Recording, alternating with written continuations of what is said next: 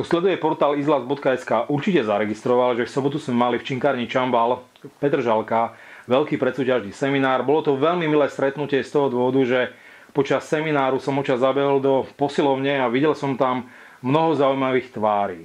Jeden z tých, ktorý ma upútal, bol aj Milan Obožil, ktorého aktuálne mám na telefónnej linke. Milan, ahoj. Ahoj, ahoj. No pre mňa to bolo prekvapenie z toho dôvodu, že my tvrdíme, že Činkáren Čambal to je meka kulturistiky a fitness na Slovensku a ty si Čech, alebo skôr Moravak. Čo sa stalo, že si prišiel do Bratislavy? Tak uh, já za majem jako takhle jezdím celkem často, že to mám kousek, já to mám vlastně nějakých 70 kilometrů a Majo mi psal, že tam právě bude mít seminář a takhle a že si nechci zajít, jakože za nimi zacvičili, že spolu zacvičili.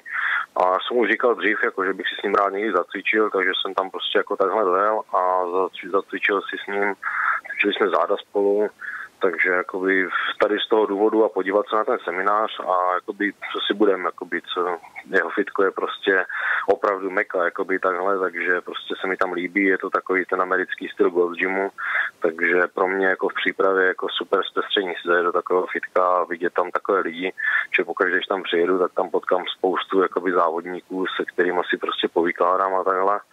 Takže je to takové jiné, než být ve fitku, kde vlastně nejsou závodníci a takhle, takže rád, rád vždycky takhle někam jdu. Jsem zavítal teď k Majovi. Rozumiem, to sa určite dobre bude Marianovi počúvať z toho dôvodu, že na zriadenie v e, Činkárne Čambal vynaložil veľa úsilia a ja si myslím, že ten efekt je fakt fantastický. Tá poslovňa je skvelá. Navyše ten rozsiahly komplex umožňuje robiť prakticky čokoľvek, čo sa týka tréningu, čo sa týka edukácie. Takže som veľmi rád, že s Marianom sme sa dohodli na nejakej ušej spolupráci. Ty si veľmi známa osobnosť, kulturistická osobnosť na českej scéne slovanskí fanúšikovia kulturistiky možno ťa nepoznajú až tak e, detailně, takže poď sa im představit. Tak e, jméno už si řekl, je mi 28 teďkom a víceméně jako můj největší úspěch byl zatím e, vítězství na mistrovství světa v juniorech v klasické kulturistice a od té doby víceméně to byly nějaké pohárovky vyhrané a takhle a na Diamondu teď v mužích do 100 kg jsem byl na třetím místě a se takhle, tak to jsem byl cvičil tak čtvrtý, pátý, tam mi to vždycky o pár bodů ta medaile utekla a letos se vlastně chystám na, na Diamond Rakousko, co je teď, co bude za čtyři týdny. Týden potom bych se měl ukázat ve Varšavě na Diamondu, potom dva týdny potom bych se měl ukázat v Katovicích na Diamondu. Pak jsem zaregistroval, že má být ještě nějaká fitnessmania, nějaká v Česku v Kladně, to má myslím 14. října, tak tam bych se zase zašel ještě ukázat a skončil bych to nejspíš v Itálii, v Římě na Diamondu. Vieš, čo pre mňa je prekvapením, že si ostal v IBB International z toho dôvodu, že mnoho českých súťažiacich, mnoho slovenských súťažiacich kulturistov tak neuvažuje. Dôvod je prečo? Tak důvod je hlavně takový, že osobně si myslím, že první bych měl jít zkusit eh, Elite Pro, jestli vůbec jakoby jsem schopný. Jednak jsem teda jako první amatér, ještě, že ještě nejsem ani Elite, jako, takže já jdu teď bojovat jakoby o to dostat se vůbec do Elite Pro. A pokud se do toho Elite Pro dostanu tak, eh, a budu konkurenceschopný v Elite Pro, ukázat, že, že můžu tam prostě vyhrávat nějakou soutěž, tak nevidím jakoby potom nějaký problém se pokusit zabojovat do jakoby té uh, divize NPC, jakože, co jsou v Americe a takhle a zkusit jakoby tam závodit, ale momentálně si myslím, že první bych si měl vyzkoušet tady tohle, jestli vůbec jakoby moje stavba těla jakoby kostra takhle zvládne jakoby tolik svalů a bude konkurenceschopná v Elite Pro. Že to beru jako takovou mezistanici jakoby mezi těma opravdovýma pro. Úprimne povedané, ja ťa sledujem na tej kulturistickej scéne už niekoľko rokov a vidím tam z roka na rok lepší a lepší, taký, taký väčší a väčší progres. A problém bol akurát s formou, to znamená, že proporcie dobré, záver, záver nie veľmi dobrý. Úprimne povedané, prekvapil si ma teraz na Diamond Cup, keď som ťa videl, tam si sa mi páčil. Mhm. A videl som ťa aktuálne aj u Mariana, je vidno, že pomerne dostatočný čas pred súťažou, už tá forma začína sa ukazovať čo si zmenil v tomto roku alebo v tejto príprave v porovnaní s tými prípravami predchádzajúcimi? Z toho dôvodu, že ak nastane nejaký progres, tak zrejme tam bola nejaká zmena. Mám pravdu, alebo milím sa? Uh, asi jo, já jsem to dřív dělal jakoby všechno až, až moc tabulkově a prostě vyloženě všechno jsem rval na čísla, takhle to prostě má být, jinak to nejde a už za těch několik příprav jsem si jakoby vyselektoval, co mi sedí, co mi nesedí, kdy prostě jakoby už pocitově cítím, že tělo je utavené a je potřeba jakoby přidat na jídle, než jakoby ubírat. Vždycky jsem měl problémy, že v tom závěru už jsem byl nachystaný, tak jsem furt se snažil to jídlo ubírat, ubírat, abych tu formu ještě sledil, ale ono ta forma vždycky začala být ještě víc horší. Takže teď víceméně nemám stanovený žádný systém, jak tréninkový, tak eh, v jídle. Mám prostě jakoby takový už na pocit všechno dělám, že když vidím, že je to vyloženě hrozně prázdné, už začnu se zatahovat vodou, tak prostě přidám trošku jakoby cukru a ono se to zase oživí a snažím se takhle držet oživené. Eh, co jsem jakoby za ty přípravy hodně změnil, tak eh, že používám v tuky ve stravě. Mm-hmm. Mám tam i sacharidy, ale musím to mít dohromady, že nemůžu mít jenom tuky, anebo jenom sacharidy, ale musím to mít smíchané dohromady, že to mi jakoby takhle sedí. Takže když mám jakoby carb day, tak k tomu musím mít i hrozně tuků, takže můj day vypadá většinou, takže mám 300-400 sacharidů, ale k tomu musím dát ještě tak 150-200 gramů tuků, aby se mi to naplnilo, jak to nenaplním. Takže v tady tomhle jakoby vidím takovou nejzásadnější změnu a v tom, že se hlavně jakoby vůbec nestresuju z toho, že prostě si to užívám, tu přípravu. Víceméně jsem 13 týdnů v dietě a necítím se ještě nějak ani unavený, nic a forma zatím momentálně vypadá nejlíp, jak zatím vypadala. A ještě mám nějaké 4 týdny na to, abych to doladil. Takže uvidím, kam se to posune. No. No môžem to potvrdiť. V podstate, keď som ťa videl u Mariana na tréningu, tak tie tréningy boli dostatočne intenzívne a pritom veľmi si sa netrápil. To znamená, že myslím, myslím to tak, že nebolo na tebe vidno, že by si mlel z posledného. Bolo vidno, že vlastne si v pohode. Ja verím, že tá forma vyjde. Čo sa týka tréningu, čo sa tebe, Milanovi Oboržilovi, v tréningu najviac osvedčilo, to by ma zaujímalo. Já prostě v tréninku musím mít vždycky jeden cvik, který je prostě těžký, jako základní komplexní cvik. Těžký, v momentě, kdy dám těžký cvik pryč komplexní, začnu měknout, začnu ztrácet svaly, takže tohle prostě já v tréninku musím vždycky mít a víceméně se mi osvědčilo v tady v kombinaci s tady tímhle mít izolované cviky a hodně do kontrakcí, ale do kontrakcí, takže tam prostě třeba držím v kontrakcích 5, 5 5-10 vteřin a jakoby cvičit paralelně, jakoby ne, ne zároveň, ale prostě každou eh, končetinu zvláště takhle a v kombinaci s tím těžkým cvikem a více cviků, uh, méně sérií, ale hodně opakování, že se snažím jakoby cvičit a série mám třeba 3-4 série, ale rozsah opakování 15 až 30 opakování.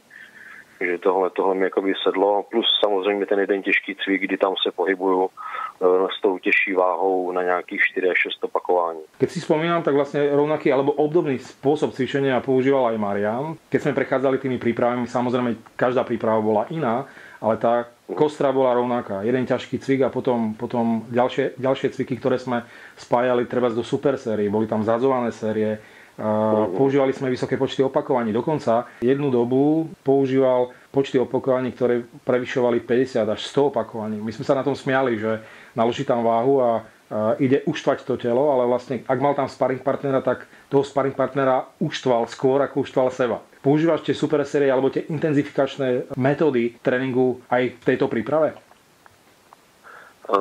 Teď já super série jakoby až tak moc nepoužívám. Eh, spíš, když už používám, tak se tam zaměřuju, že v poslední sérii udělám zazvanou sérii, ale my jsme se o tom s Marianem bavili, že on to dělal jako podobně, ale já, já to dělám jinak v tom stylu, že mě právě sedí, že když tam mám dlouhou pauzu mezi tím, že udělám jakoby velkou pracovní sérii, kdy tam mám hodně opakování a zhazované série se třeba v tom součtu, v té sérii s tím zazováním dostanu třeba na nějakých 50 opakování, ale musím tam mít třeba 3-4 minutky pauzu mezi tím, takže ono ten trénink můj, jakoby, to, co jsme s Marianem, tak byl takový intenzivnější, ale já sám jakoby osobně ho jezdím, že mi trénink trvá třeba hodinku a půl, mm-hmm. a, ale tím, že tam mám ty další pauzy, a totiž tím, jak jsem k tomu to, tak já hrozně uh, vypaluju glykogen, takže když nasadím hodně intenzivní trénink, tak já se začnu pálit i se svalama a začnu hrozně jakoby měknout a vyloženě se pálím zaživa. Keď sa na seba pozrieš, lebo ja som ťa nevidel pozovať, v, bol som na seminári, Marian ma síce volal, nemal som čas, na čom by si ešte mal pridať? Tak každopádně pořád jsou slabina jakoby ruce. Ono jako takhle, když ukážu v double bicepsu nebo v prsa z boku, tak eh, ten tvar tam jakoby je, on dost narostlý, ale eh, chyb, mám hrozně jakoby krátkou vnější hlavu a ona mi hrozně chybí při pozování širokého ze předu, že tam prostě ty ruce pořád vypadají hubené, jakoby oproti tomu tělu a všemu a těm ramenům takže na, na, těch, na těch vnějších eh, bicepsech se snažím pořád pracovat. Jinak jakoby detailu, tak je tam docela dost a co se týče ostatní části těla, tak samozřejmě uh, lítka jsou pořád slabina, ale jinak jako takhle, co jsem se bavil s Tomášem, vlastně jako by Tomáš budeš stále můj trenér a co Majo vlastně, jak jsem mě teď viděl pozovat, tak říkal, že tam jakoby takhle nic nechybí, že se mu tam nezdá, že by tam něco ne, nebylo nebo prostě chtělo nějak extra doladit, až právě na tady tohle, co jsem teď zmiňoval, jakoby ty lítka a vlastně ty ruce. Ale ty ruce vyloženě jakoby jenom v tom širokém zádovém působí, že jsou jakoby malé oproti tomu ostatnímu, ale když udělám prsa z boku nebo dvojitý biceps, tak se to tam prostě ztratí, že to není jakoby vidět tam takový rozdíl. Na seminári lektory boli Štech, bol to Lukáš Robik a Vitek Sahula. Rozprávali tam o príprave na súťaž, rozprávali aj o tom, akým spôsobom pozerajú rozhodcovia na tých súťažiacich. Veľký priestor tam venovali voľnej zostave. My vieme, že vlastne voľná zostava rozhoduje o tom, že či súťažiaci úspeje alebo neúspeje v prípade, ak má rovnoceného konkurenta. Ako to vyzerá s tvojou voľnou zostavou? Tak moje volná sestava je vždycky taková, že pokaždé, když jsem ji trénoval jako nějak intenzivně doma, tak se mi vždycky pokazil, protože na mě došla třeba nějaká nervozita nebo prostě nějaká myšlenka při tom, že jsem se nedokázal odprostit vyloženě od toho pódia, od toho, že mi tam o něco jde a vždycky jsem prostě zapomněl třeba na nějaký přechod nebo něco a zamotal jsem se a vždycky ta sestava byla nejhůř hodnocená, když jsem se pak díval na bodování mm. a od doby, co jsem jakoby přestal jakoby to nějak řešit, že pozu teda jakoby na stejnou hudbu, že už tu hudbu znám už několik let a vždycky, když jakoby na tu hudbu pózu improvizovaně si to jakoby užívám, že ne, nemám dané přesně jaký přechod, že jakoby pózy už umím jakoby takhle nějak přechody mám prostě, dokážu přejít jakoby do pózy, tak uh, prostě pózuju, užívám si to, dívám se na to publikum, prostě ukazuji jim pózy, které si cítím jakoby se nejsilnější, přecházím si ze strany na stranu, jakože z, z jednoho boku na druhý bok. A takhle vždycky, když jsem to stavu udělal, tak jsem měl bodově jakoby dobře hodnocenou, takže asi takhle nějak to budu letos praktikovat. Tím, že mám víc závodu, tak to můžu nějak zkusit jakoby vymyslet jinak, ale, ale jakoby tak jsem to dělal vždycky, když jsem takhle udělal, tak jsem měl dobře hodnocenou to sestavu. A když jsem tak nedělal, trénoval, tak to bylo vždycky úplně strašný, protože jsem se tam zamotal vždycky nějak. Ešte zaujímavé z toho že ja mám taký názor, ak trénuješ voľnú zostavu, tak e, mal by si vedieť 100%. Ale rozumiem, tá nervozita tam určite na tých súťažiach je. Ako ty riešiš túto nervozitu? Čo používaš na to, aby si sa upokojil, ukľudnil? Já nejsem nervózní, když máme jakoby v porovnávání. Mm-hmm. To si vyloženě užívám, to mě baví prostě na tom pódiu, protože to se porovnávám a všichni děláme to stejné ale já jsem nervózní vyložený vždycky jenom na té sestavě, že prostě teď jsem tam sám, mám ukázat na za tu minutu prostě já něco na tu hudbu a čím víc jsem se na to chystal a prostě promýšlel si tu sestavu a všechno, tím víc jsem nervózní z toho, že tam někde něco spletu, nebo prostě, že se mi zamotá něco, nebo prostě ztratím balans nebo něco a prostě už je potom problém. Tak potom strašně myslím na to, aby to bylo tak dokonalé, že to vždycky pokazím. Proto jakoby to mám takhle dané. No. Tak uvidím, akým spôsobom budú hodnotené tie voľné zostavy na súťaže, na ktorých bude, že či tá improvizácia sa oplatila, že či tých súperov, tých vyrovnaných súperov, lebo čo si budeme nahovárať na Diamond Cup, prichádzajú e, súpery rôznej výkonnosti, ale tí mhm. top 2 a top 3 sú veľmi vyrovnaní, že či to pomohlo alebo naopak poškodilo. Zaujímalo by ma, čo povieš na českú kulturistickú scénu. Je to rovnaké ako u nás na Slovensku, to znamená, že tá kulturistická scéna sa rozštiepila na IBM International a NPC Pro League. Keď sa tak zamyslíš, kto je podľa teba aktuálně na té české scéně najlepší kulturista? Mm, pro mě je to jednoznačně jakoby takhle z těch mladých Milan Šádek.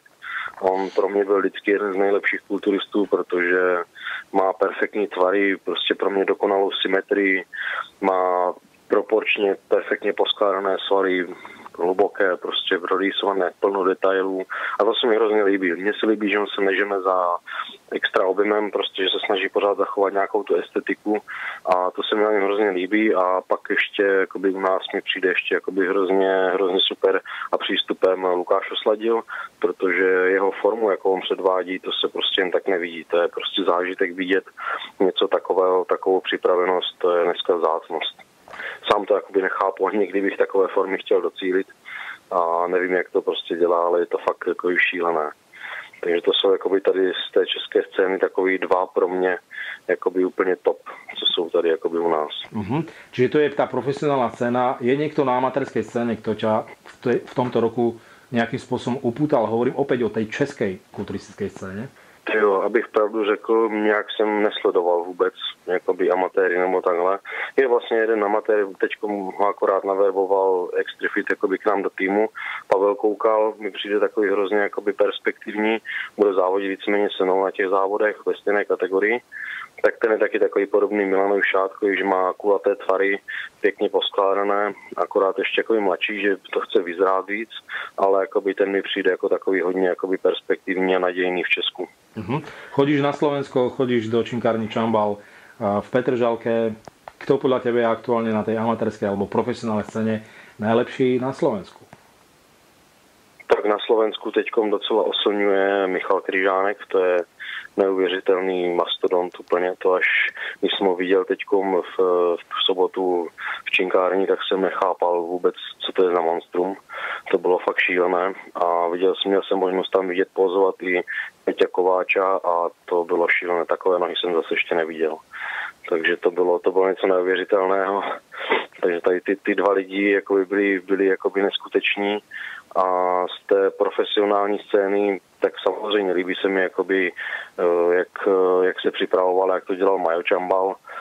Takže on měl vždycky taky takovou připravenou formu, líbilo se mi jeho kritické oko, jak se na sebe díval, jak eh, prostě všechno do detailu muselo být nachystané, co se mi líbí, že prostě jak by to mělo být, že ta forma je jakoby prvořadá nad těma svalama a teď, teď z hlavy mě tak jakoby narychlo nikdo napadá. Tak já, já totiž, abych pravdu řekl, nějak extra jakoby nesleduju moc jakoby, uh, extra všechny jako takhle uh, kulturisty. Já mám prostě pár vybraných svých zajímavých lidí, kteří jsou mi nějakým způsobem inspirací a tím, co říkají, tak mi dávají nějakým způsobem smysl a posouvají mě dál, že si vyselektuju, co je zajímavé, co by mohlo fungovat nějakým způsobem na mě a tím si beru jakoby od nich vzor. Milan, je to prirodzené, ja takisto nesledujem všetkých. Sledujem len pár ľudí, ktorí ma nejakým spôsobom uputali. Na seminári bol aj Honza Kavalír. Honza Kavalír tak vlastne občas prišiel do, do činkárne, ako do toho priestoru, kde sa trénuje, pozrel sa na tých chlapcov. Keď sme odchádzali, veľmi ťa chválil. Prišiel za mnou a mi hovorí, že vlastne chcel by spracovať taký nejaký článok o Olympia víkende 2017, pardon, 2018. To by mohol ako uspieť. Ako to vidíš ty, čo sa týka ťažkotonážnikov kulturistike, ako to vidíš na Olympii v tomto roku? Tak za mě to bude jednoznačně zase Phil Heath. Podle mě prostě nemá, myslím si, ještě dlouho nebude mít konkurenci. Pokud eh, dojde o, o kousek lepší než loni, tak prostě nebude mít konkurenta. Uh, jakoby Big Ramy nebo takhle, jak se furt spekuluje, jako že by ho mohl ohrozit, tak to podle mě nepřichází v úvahu. Big Ramy je sice strašně obrovský, ale jemu chybí prostě, když si vedle sebe stoupnou, tak mu chybí prostě ta zpracovanost těch svalů, ta kvalita, ta vyzrálost, ty detaily, které prostě film má a jestli dojde zase o kousek lepší a posune to, tak prostě na něho nebude nikdo mít. A Sean Roden se mi ještě tak jako by líbí, ten je taky takový pěkně estetický, ale loni třeba mi přišlo, že neměl úplně formu dotaženou. A jestli dotáhne jakoby formu, tak by mohl být jakoby zajímavý konkurent, ale stejně si myslím, že fila jakoby nikdo nesesadí. No a v 212 tam, tam si myslím, že to bude, tam to bude hodně zajímavé. Tam to je napráskané, tam vlastně ten Chopin tam má být, Flex tam bude. Takže myslím si, že to bude mezi něma dvěma a nedovedu si troufnout, tak to dopadne. Samozřejmě přál bych to Flexovi, když oznámil, že už bude jakoby jeho poslední olympie, aby si odnesl jakoby poslední trofej a samozřejmě, když ta forma jakoby bude odpovídající. A, ale nedovedu si vůbec jakoby troufnout říct, jak, jak, jak to dopadne, protože ten Hady Chopin je neuvěřitelně tvrdý a propracovaný je velký takže fakt nevím. Ja hovorím, že rozhodne až moment, kedy sa postavia vedľa seba na pódium. Otázkou akurát je, že či ten Čopan dostane, dostane víza z toho dôvodu, že je z Iránu. Nejak som neregistroval, že či ich má, alebo či ich nemá. Myslím, že on už dvakrát bol pozvaný na tú Olympiu kvôli tomu, že mal dobrý výsledok, lete víza nedostal. Uvidíme, ak to dopadne. V každom prípade budeme to sledovať. Ďakujem veľmi pekne za rozhovor, Milane, držím ti prsty, nech sa darí. Treba povedať ešte, kto ťa podporuje na jesenú časť súťažnej sezóny tak eh, v první řadě mě podporuje Extrifit, který mě podporuje už asi 4 roky. Takže Extrifit, potom vlastně Gorilla mě oblíká a pak mám sponzory, jakoby, hlavně jakoby, co mě hodně pomohli finančně, tak eh, je M Klima, Sinet a zastřešení bazénu POP. Tím mě vlastně letos pomáhají nejvíc na celý podzim. Nikdy vlastně může tolik soutěží. Uh-huh. Treba povedať, že každá súťaž je veľký finančný výdavok. Na každej súťaži si platíš štartovný poplatok, ten je v sume 200 až 250 eur. Plus treba sa tam nejakým spôsobom dopraviť, treba tam bývať, treba tam jesť, treba si zaplatiť povedzme nástrek. Takže ja tak odhadujem, že jedna súťaž prichádza tých súťažiacich zhruba v eurách na nejakých 800 až 1000 eur. Pokud je to blízko a dá se tam dopravit za pár korun, tak je to tak nějak plus minus, jak to řekl. Zopakujem, držím prsty, nech sa darí.